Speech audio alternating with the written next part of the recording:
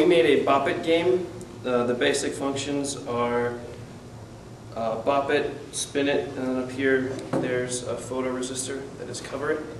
Everything works except for at the moment this the spin it does not create enough voltage. The motor we changed the last minute is not actually large enough to create readable voltage source, which is why we have this button on the outside just to demonstrate. It does the same thing. It just supplies a pulse to the PIC instead of this. So the function of the game is that it randomly chooses one of those three functions for you, and you have a time limit to complete the function before you lose.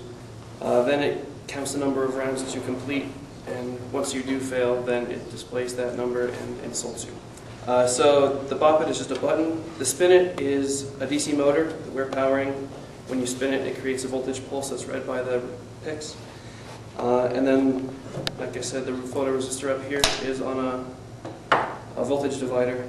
And when you cover it, it changes the resistance, and the PIC reads that voltage change as well. It's got the LCD that displays a prompt for each function, as well as the LED underneath it. So the yellow one for the spin it, green for the bop it, and there's a blue one up here for the cover. At the moment, we have two different difficulty levels set up. One is really long for an easy demonstration, and one is a little bit shorter for a little bit more realistic demonstration. So it shows a welcome screen in the beginning, then you go through to select difficulty, and I'll select the really slow one for now.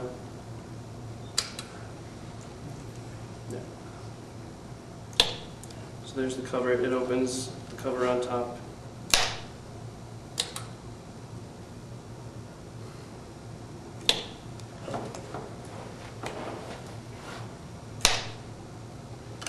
Once you lose, then it... Uh, so then if I start again, go to the harder mode, then it goes a little bit faster. We have that much time to complete each command. And that's it.